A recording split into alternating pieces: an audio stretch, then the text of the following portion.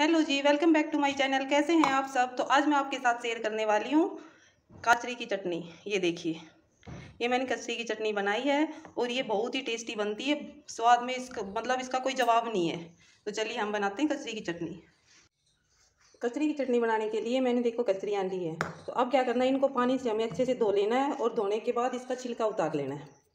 तो इनका छिलका ऐसे उतारना है। सारी कचरियों का हमें छिलका उतार लेना है। ऐसे करके ना हम छिलका उतार लेते हैं इनका। कातरी की चटनी जो होती है, वो बहुत ही टेस्टी लगती है। ये देखिए, ऐसे करके हमें सारी कचरियों का छिलका उतार लेना है। ये मैंने सारी कचरियों का छिलका उतार लिया था और इनको काट लिया है। इनके दो दो पीस कर लेना दो दो कर लेना या चार चार कर लेना और इसके साथ ही मैंने दस कलियाँ लहसुन की ले ली हैं और उनको मैंने छोटा छोटा काट लिया, देखिए। अब क्या करना है कि इनको हमें मिक्सी जार में डाल देना है।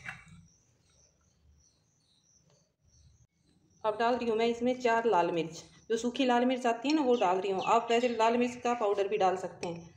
आधी चम्मच मैंने डाल ली है इसमें नमक। और आप साबुत धनिया भी डाल सकते हो, मैंने इसमें डाला है धनिया का पाउडर। और आप सारी चीज़ों को हमें पीस लेना है।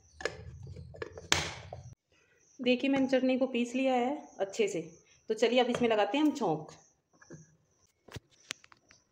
ये चटनी में छोंक लगाने के लिए मैंने एक पैन लिया और पैन में डाला है मैंने एक बड़ा चम्मच सरसों का तेल। और इसको अब हम गर्म कर लेते हैं। ये हमारा तेल गर्म हो गया तो इसमें मैं डाल रही हूँ आधी चम्मच राई और आधा चम्मच जीरा।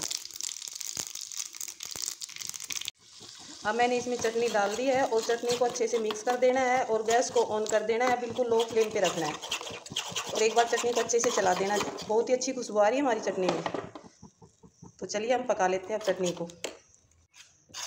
कातरी की जो चटनी होती है, बहुत ही टेस्टी बनती है। तो आप इसको पूरी के साथ, पराठे के साथ, रोटी के साथ, बाजरे की रोटी के साथ, बाजरे की रोटी पे मक्खन रख के और फिर उसके साथ लस्सी के साथ, दही के साथ ये चटनी खाकर देखिए, आपका स्वाद इतना बढ़ जाएगा, सब्ज़ी खाना ही भूल जाएँगे आप। तो अगर आपको भी मेरी ये रेसिपी पसंद आती है तो प्लीज़ मेरे चैनल को लाइक व सब्सक्राइब कीजिए।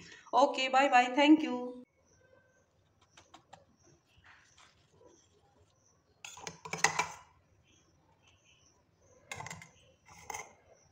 गरम गरम कचरी की चटनी ठंडी ठंडी लस्सी रोटी और घी।